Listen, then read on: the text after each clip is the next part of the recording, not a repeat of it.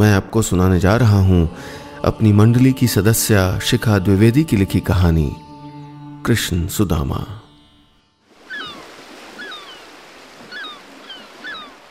द्वारिका के समुद्र तट पर उस वक्त कोई नहीं था। था तो सिर्फ़ लहरों का शोर और चारों ओर फैला गुप अंधेरा। पर तभी मुझे उस अंधेरे को चीरती हुई एक रोशनी आती दिखी। कोई शख्स हाथ में मशाल लिए इस ओर ही चला आ रहा था। थका हारा, पसीने से भीगा वो शख्स वहीं रेत पे बैठ गया और वो मशाल पास पड़े पत्थरों के बीच टिका दी। मैं दूर खड़ा उसको पहचानने की कोशिश करता रहा। माथे पे तिलक, पूरे मुड़े सर के बीचों बीच एक चोटी, बदन पे जगह जगह से फटी धोती और दाहिने कंधे पर टंगा एक थैला। उसके पैरों में चप्पल भी नहीं थी। रेत पे बैठा वो शख्स अपने पैरों से कांटे निकालते हुए खुद से ही बातें कर रहा था। कुछ कुछ मुझको भी सुनाई दे रहे थे उसके शब्द। सुदामा, तुम आ तो गए हो यहाँ पर। क्या इस दशा में कोई तुमको कान्हा से मिलने देगा? और क्या कान्हा तुमको पहचानेंगे? ये सुदामा थे जो यहाँ अपने दोस्त कृष्ण से मिलने आए थे। वो कृष्ण जिनके साथ उनकी दोस्ती तब की थी जब कृष्ण राजा नहीं, बल्कि गोकुल में एक आम ग्वाले थे। अवंतिका यानी उज्जैन में दोनों एक साथ संदीपन ऋषि के आश्रम में पढ़ाई करते थे। सुदामा सिर्फ़ पढ़ाई में कृष्ण के साथ ही नहीं थे, बल्कि आश्रम के सारे काम खेल कूद और शरारतों में भी उन्होंने कृष्ण का पूरा साथ दिया था। उनकी इस पक्की दोस्ती के किस्से सिर्फ़ आश्रम नहीं, पूरी अवंतिका में सुनाई देते थे।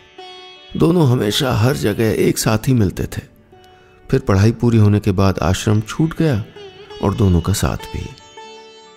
कृष्ण गोकुल से मथुरा और फिर द्वारका आ गए। अब वो संदीपन ऋषि के आश्रम के साधारण छात्र नहीं थे। द्वारिकाधीश थे। द्वारिका के राजा कृष्ण।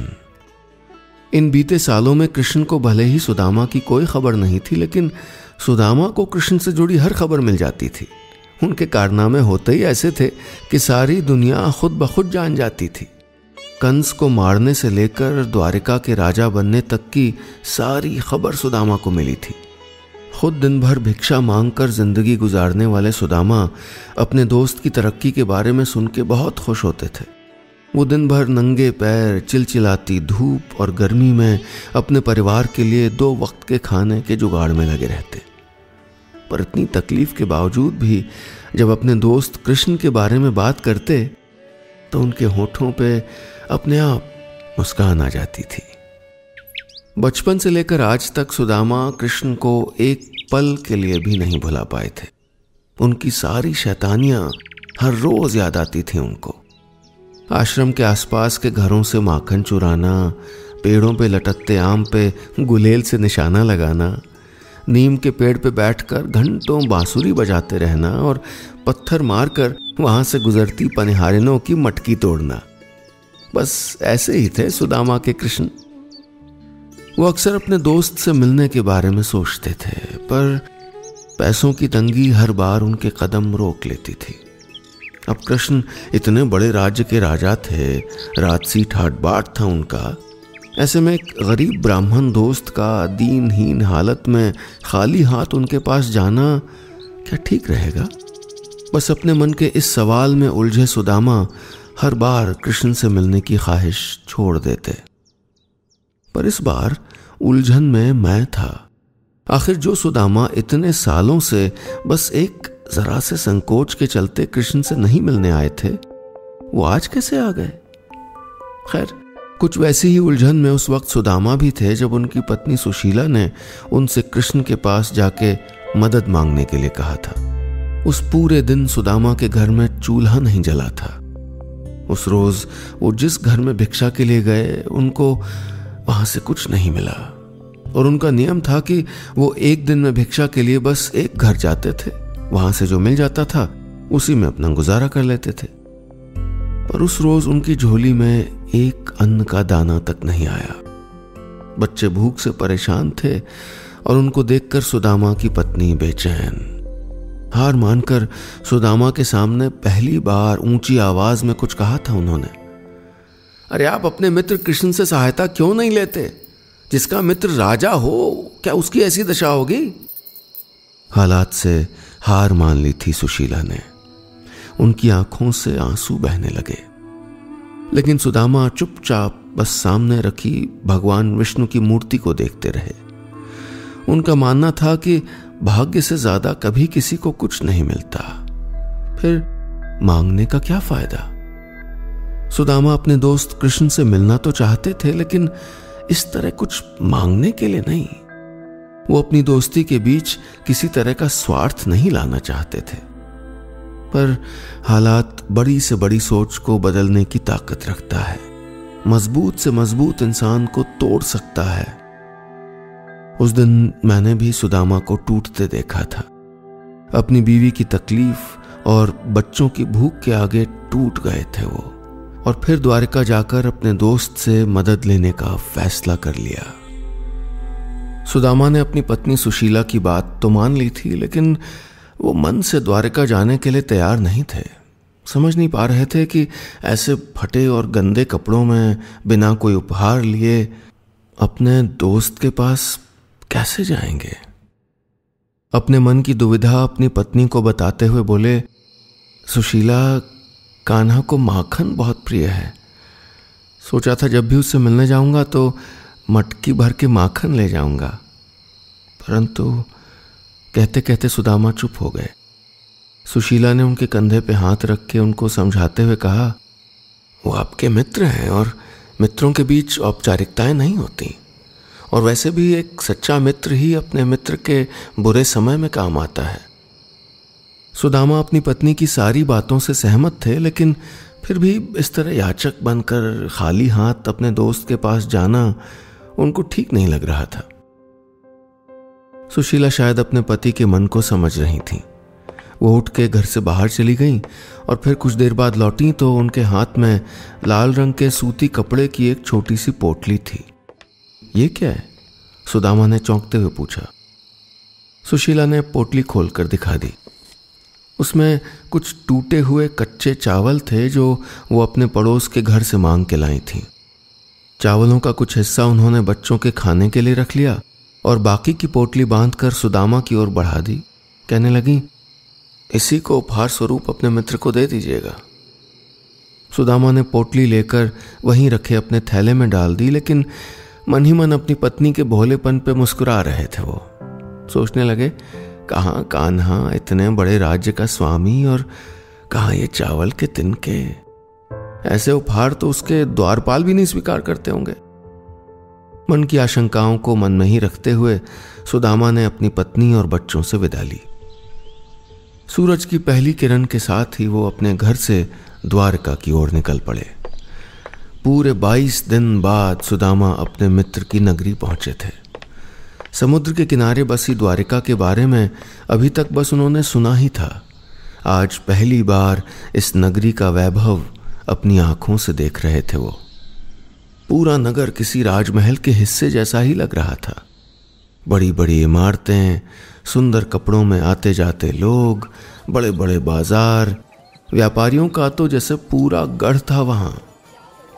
दूर से ही अपने कान्हा का राजमहल उनको नज़र आ रहा था। पर न जाने क्यों उनके कदम उस ओर बढ़ ही नहीं पाए। चुपचाप किसी और ही दिशा में बढ़ गए सुदामा। अपने दोस्त से मिलने आए सुदामा राजमहल की जगह समुद्र के उस किनारे पे पहुँच गए। वो रात जितनी काली थी, उतना ही गहरा अंधेरा उनके मन में भी फैला था। उनके मन की घबराहट मुझे भी साफ़ नज़र आ रही थी। वो अपनी उंगलियाँ रेत के उस ढेर पर बस गोल गोल घुमाए जा रहे थे। यहाँ तक तो आ गए थे, पर राजमहल तक जाने की उनकी हिम्मत नहीं थी। द्वारपालों ने बाहर से ही भगा दिया तो अगर कान्हा ने मुझको पहचाना ही नहीं तो सुशीला को वापस जाके क्या उत्तर दूँगा? ऐसे न जाने कितने सवाल रेत में घूमती उनकी उंगलियों की तरह ही उनके मन में घूम रहे थे। पर वहाँ उस सन्नाटे में उनके सवालों का जवाब देने वाला कोई नहीं था। वैसे उनके वो सवाल अब मेरे मन में भी उठ रहे थे। मैं भी सोचने लगा था कि क्या वाकई एक अमीर दोस्त अपने गरीब दोस्त को पहचान पाएगा? ये सवाल मेरे मन में इसलिए भी थे क्योंकि सत्ता मिलने के बाद, कुर्सी पे आने के बाद, रिश्तों का गणित अक्सर बिगड़ते ही देखा है और सुना भी। खैर, उस पूरी रात सुदामा समुद्र किनारे उस रेत पे ही बैठे रहे। लेकिन रात भर में अपने मन को एक कोशिश करने के लिए उन्होंने मना लिया था। पहले ही सोच लिया था कि अगर द्वारपाल ने अंदर नहीं जाने दिया तो उसी पल वापस लौट जाएँगे। वहाँ से उठकर सुदामा एक बार फिर राजमहल की ओर चल पड़े। वहाँ पहुँचे तो कृष्ण से मिलने वालों की एक लंबी लाइन लगी थी। सुदामा चुपचाप उस लाइन में सबसे पीछे जाके खड़े हो गए। उनका नंबर आते आते दोपहर हो गई और जब वो द्वारपाल के सामने पहुँचे तो उनके पूर्वानुमान के मुताबिक ही वो उनको ऊपर से नीचे तक देखता रहा। फिर कुछ देर चुप रहने के बाद भवें चढ़ाते हुए बोला, किससे मिलना है? कान्हा हमारा तात्पर्य है आपके राजा कृष्ण से। सुदामा ने चेहरे पर मुस्कान लाते हुए जवाब दिया। पर उनका जवाब सुन के ही वो द्वारपाल ज़ोर ज़ोर से हंसने लगा। फिर अपनी हँसी रोकने की कोशिश करता हुआ बोला, महाराज तक क्या संदेश पहुँचा है मैं उनका, नहीं, बस इतना कह दीजिए कि सुदामा आया है। खुद को कृष्ण का दोस्त बताते बताते रुक गए थे वो। उनका संदेश लेकर द्वारपाल अंदर तो गया, पर काफ़ी देर बाद भी बाहर नहीं लौटा। बीतती घड़ियों के साथ सुदामा का विश्वास जैसे टूट रहा था। उनको लगने लगा था कि अब शायद उनका दोस्त, उनका कान्हा, सिर्फ़ एक राजा, सिर्फ़ द्वारकाधीश कृष्ण बन के रह गया था। काफ़ी वक्त बीत गया था, पर अभी तक न कृष्ण आए थे और न ही उनकी कोई खबर लेके द्वारपाल। सुदामा के लिए अब एक और पल वहाँ रुकना मुश्किल हो रहा था। उन्होंने उसी वक्त वापस लौटने का फैसला कर लिया। उधर जब वो द्वारपाल अंदर पहुँचा, उसी वक्त कृष्ण कुछ देर के लिए दरबार से उठकर अपने कक्ष की ओर चले गए थे। द्वारपाल वहीं खड़ा उनके लौटने का इंतज़ार करने लगा। कुछ देर बाद पीताम्बर वस्त्र और सर पे मोर पंख वाला मुकुट पहने सांवले सलोने कृष्ण मुस्कुराते हुए दरबार में वापस लौट आए। आते ही द्वारपाल की ओर देखते हुए बोले, कोई और है जो हमसे भेंट करना चाहता है? वो महाराज, एक अंतिम व्यक्ति बचा है। मैले वस्त्र हैं, नंगे पैर हैं। अपना नाम सुदामा बता रहा है। द्वारपाल का जवाब सुनकर राजगद्दी पर बैठे कृष्ण तुरंत उठ के खड़े हो गए। क्या खास सुदामा आया है? उनकी आँखों में जितनी हैरानी थी, उससे कहीं ज़्यादा खुशी चमकती दिख रही थी। बिना कुछ और पूछे, बिना कुछ और कहे, वो दरबार से दौड़ते हुए सीधा राजमहल के द्वार की ओर बढ़ गए। पूरी सभा हैरान थी। उन सबने कृष्ण को बहुत धीर गंभीर तो कभी नहीं देखा था, लेकिन इस तरह अधीर होकर, बेचैन होकर किसी के स्वागत में दौड़ना? लेकिन कृष्ण सबकी नज़रों और विचारों से बेफिक्र अपने दोस्त से मिलने राजमहल के बाहर आ गए। कृष्ण बाहर आए तो सुदामा उनको वहाँ नहीं मिले। उन्होंने इधर उधर नज़रें दौड़ाई तो दूर महल परिसर से बाहर जाता एक शख्स दिखाई दिया। सुदामा! कृष्ण ने ज़ोर से आवाज़ लगाई। अपने कान्हा की आवाज़ सुनकर सुदामा के पैर वहीं रुक गए। पलटकर देखा तो उनका मित्र, उनका कन्हैया दौड़ता हुआ उन्हीं की ओर आ रहा था। सुदामा के पास आके कृष्ण ने उनको गले से लगा लिया और उनके गले लगते ही सुदामा की सारी आशंकाएँ मन में फैले सारे भ्रम जैसे एक पल में गायब हो गए। वो काफ़ी कुछ कहना चाहते थे, लेकिन उस वक्त उनके शब्द न जाने कहाँ खो गए थे। सिर्फ़ आँखों से आँसू बहते रहे। कृष्ण ने अपने आँसू पोछे और हाथ पकड़कर उनको अपने साथ राजमहल के अंदर सीधा अपने कक्ष में ले गए। कृष्ण की पत्नी रुक्मिणी भी वहीं मौजूद थी। उनको अपने पति और सुदामा की दोस्ती के बारे में पहले से पता था। वो फ़ौरन उनके स्वागत की तैयारियों में जुट गईं। एक दास बड़ी सी थाली और पानी से भरी बाल्टी लेकर सुदामा के पैर धोने पहुँच गया। पर कृष्ण ने दास को वापस भेज दिया और खुद अपने दोस्त के पैर साफ़ करने ज़मीन पे बैठ गए।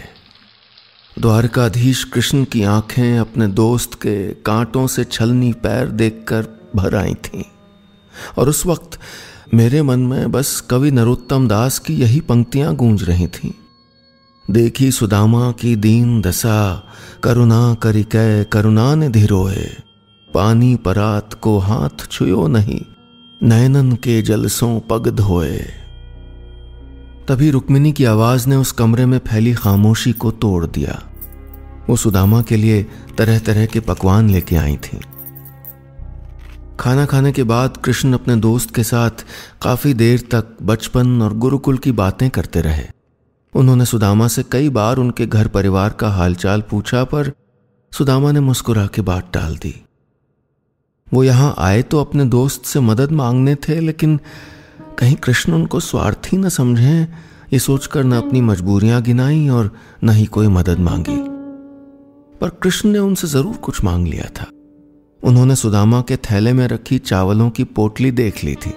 हँसते हुए बोले, क्यों मित्र? भाभी ने इसमें मेरे लिए क्या भेजा है? सुदामा झिझकते हुए वो पोटली छुपाते रहे, पर कृष्ण कहाँ मानने वाले थे? उन्होंने उनसे पोटली छीन ली और उसको खोलकर वो टूटे चावल खाते हुए बोले, भाभी के सुफार के बदले अगर मैं तीन लोग भी दे दूँ तो कम होगा। दो मुट्ठी चावल खाने के बाद जब कृष्ण तीसरी मुट्ठी का चावल खाने लगे तो रुक्मिणी ने उनका हाथ पकड़ लिया। मुस्कुराते हुए बोली, कुछ हमारे लिए भी छोड़ दीजिए। हँसते हुए कृष्ण ने पोटली रुक्मिणी को पकड़ा दी और रुक्मिणी ने ऐसे लंबी सांस ली, जैसे वाकई कृष्ण को तीनों लोग किसी को देने से रोक लिया हो। अगले रोज सुदामा ने विदा लेनी चाही, पर कृष्ण ने रोक लिया। धीरे धीरे पंद्रह दिन बीत गए। उस दिन जब सुदामा अपने घर के लिए निकले तो उसी तरह खाली हाथ थे, जैसे वो यहाँ आए थे।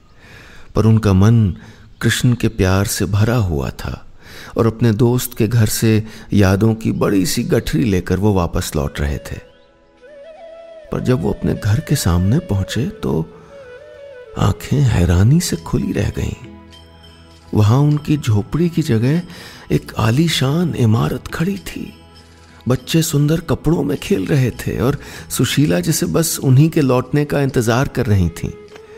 दौड़ के सुदामा के पास आई और हाफते हुए बोली, द्वारिका से कुछ लोग आए थे। देखिए, पंद्रह दिनों में ये पूरा भवन तैयार कर दिया। वस्त्र, आभूषण और बहुत सा धन भी दे गए। क्या आपने ये सब द्वारिकाधीश से मांगा था?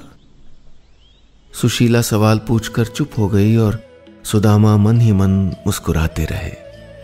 एक दोस्त ने बिना कहे दूसरे का दुख समझ लिया था और बिना जताए उसे दूर भी कर दिया था।